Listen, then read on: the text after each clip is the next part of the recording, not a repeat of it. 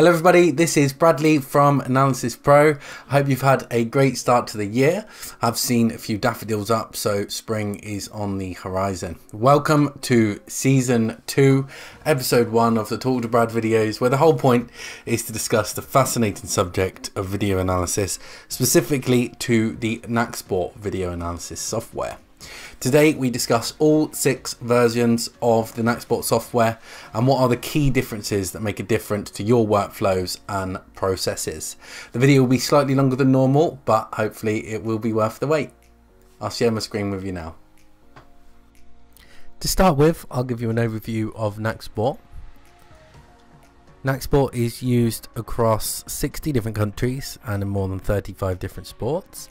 The features and range of versions available mean that it's used by national governing bodies and professional teams like Liverpool FC and Gloucester Rugby, but also by local grassroots teams, schools, colleges, and universities. It's got affordable costs and lifetime licenses. There will be a Nacsport version to suit you, your budget, and your requirements. Nacsport is easy to learn and quick to use. Your analysis is made efficient thanks to the Nacsport features and workflows that have been developed for coaches based on user feedback and requests from those out in the field. Nacsport users are fully supported throughout the process, utilizing the knowledge base and our dedicated support team. So moving on to Nacsport Basic. So Nacsport Basic is still really powerful software and you can achieve some really good workflows with it. To start off with, the price is £130 plus VAT and for this you can start using the power of video and statistical data. We always ask, can you really remember everything that happened? And that's what video analysis is all about, giving you the chance to see it again. You click and register actions live or post event. So even with the most basic software, you can achieve some live performance analysis workflows. Of course, you can register from file, post event as well. If you are interested in registering live, we've got some articles on our knowledge base on how to do that. So how does it actually work? You create your own templates with 25 on-screen buttons and these are called categories. With Nacsport Basic, you get 25 of the buttons and it's designed to be customizable to suit you as the coach. What are you looking for? Each button has a manual mode setting or has preset clip times. So you can click at the beginning and at the end of the clip or you can predetermine the time that you want that clip to be. This is all done in the registering environment. This is the terminology that we use in Nacsport when you are coding, tagging, registering the actual game. It's really easy to do and everything orientates around this template. So most coaches will sit down with a pen and paper and they will write down what is important to them, what are they looking for from their team, what are they looking for from their players, and then start looking at the flow of how they want their template to go. Especially if you're performing some live workflows, you want to make it as easy as possible for you to maneuver around your template. Each time you click, you'll enter this category into a timeline of events. And you'll need to flick from the registered environment over to the timeline environment and you can review each category. So we have hotkeys in place for you to easily skip through different clips so you can find those important ones and review the most important bits of the game. We then have other tools like the comparison tool so you can view two clips or more than two clips side by side. In Nacsport Basic you also have the dashboard tool. You have one dashboard which is a set of customized graphs, charts and labels to visually show the data in bar charts, pie charts, etc. You only have to make one of these and each time it will automatically populate your dashboard for you. So the bar chart, the pie charts will automatically fill up with data as you are coding the game. Now my favorite tool in Nacsport is the presentation tool. You fill up color coded lists with the clips that you want to present. So for example, you may want to look at all your player moments. So you might have a list for each player. You might have different lists of things that you've been working on in training, like set pieces. You might have your attacking third entries. You might have any key clips as color coded lists. And as you're reviewing your data, you can easily use a hotkey to fill up these lists how you want them. You can add a picture of your dashboard so you get a statistical representation of what happened and you can also add any pictures to the presentations as well. But you don't have to stop there. You can write any notes, write your coaching points on there, and you can also add drawings. So you can purchase and integrate the KlipDraw tool. So the analysis, like they do on the TV, on Sky Sports, on Match of the Day, adding these telestrations will make your video look really professional.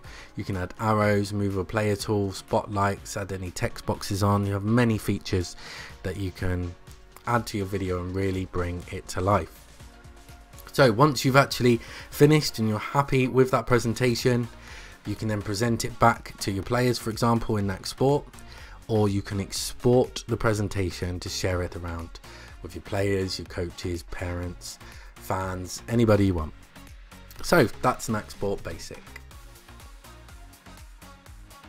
Okay, so moving on up to Nacsport Basic Plus, and it really does take your analysis to a new level, and this is due to the descriptor buttons.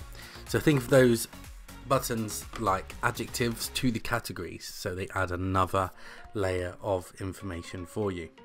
So using football as an example, if you're watching the video and you see a player cross the ball and you're analysing that cross, you will press cross because that will be the category and then you can add more information to that cross. So you may have a descriptor button saying from the left, from the right, from the wing, from deep, from high, from low, cleared by the defender, resulted in a shot, resulted in a goal.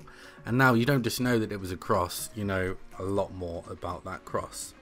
Similarly, if you were analysing shots, you would press shot, that would be the category, and then you can find out what shot was on target, off target, whether it was a long shot, a short shot, whether it was with the head, the volley, and so on. In rugby, you'll want to know how you are gaining and losing possession. So you can look at the set pieces, the turnovers, you can look at how many phases of possession you're having as well. And if you are looking at individual player moments in any sport, you can make the player the category and the action as the descriptor. So the player would become, you could have the number that they're wearing or a picture of them imported into the template. You would click the player and then the actions, the shot, the cross, etc. would become the descriptor. It's completely up to you and what you want to get from the game. All of this can be applied to any sport. So you can apply it to hockey, of course. You can apply it to tennis if you're looking at serves and there are different errors that are made. You can apply it for to squash, GAA, netball, basketball, boxing, MMA. The list goes on, and as I said, there are 35 plus sports that use Nacsport. So you can apply this to any sport. So in Nacsport Basic Plus, you now have 50 buttons opposed to the 25 in Nacsport Basic. And with your categories and descriptors, you create something very special. It's the matrix. This is another terminology that we use within the Nacsport software. And the matrix will display all your categories down the left and all your descriptors across the top. So you can see and easily find those moments that happen. So if you're looking for all the shots that were on target, you can quickly go to the grid and see oh, we had seven shots that were all on target. Now, pressing that 7 will then display the video for you. So the matrix is linked to the video. So it's really powerful if you're reviewing the footage yourself or presenting it. You can bring the matrix up on the screen, click the number and you can show the video behind the numbers. So moving on to dashboards, you get two dashboards now instead of one. So you may have an individual dashboard looking at your players, you may have a team dashboard looking at the team overall. So you get two now, and again that will self-populate itself into the uh, into the graphs, charts, and labels that you have. You may also be coaching more than one sport, um, therefore you may have more than one template, and you have the two uh, dashboards now to populate that chart and and, and uh, graphs. You now get the play-by-play window as well. So this will be a window that opens up while you're registering and you can easily see what you've registered. You can search specific moments while you're actually in the registering environment. And also this is a really good tool. If you're on the same network, you can wire wirelessly send a live dashboard of stats to review. So perhaps you've got your the maybe the subs on the bench um, with an iPad or their phones. They can pick up the stats from the game. Other coaching staff, um, anybody really can log on if they've got a web browser and see the stats rolling in live through the game. And importantly here, you can start to import and export XML files to other timeline based sources. So if you're using things like Instat, Wyscout, obviously Sportscode and Opta, you can start sharing the uh, data between the different timeline based sources. So that's Basic Plus. Okay, so moving on to Sports Scout Plus, which is a really powerful and popular version of the software. Firstly, you have unlimited buttons on your template, you're no longer restricted to the 50. You also have unlimited dashboards now, you're no longer restricted to the two dashboards. You can register without a video source, knowing that the game is being recorded, and then you can sync the timeline and the video up later on. You can now import the full Sportscode Gamebreaker packages. It's just a quicker process. You can import the data and the video. You can now sync a second video angle to the timeline. And here is a really important point.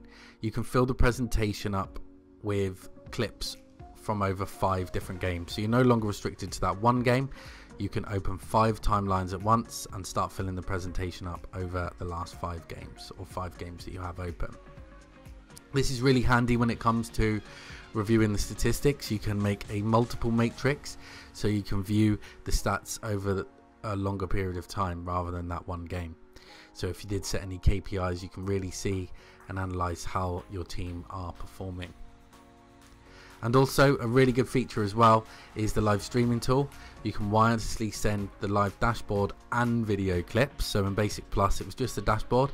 Now in Scout Plus you can send the video clips as well to that other device. So again the receiver will just need to have a web browser, so an iPad or their phone.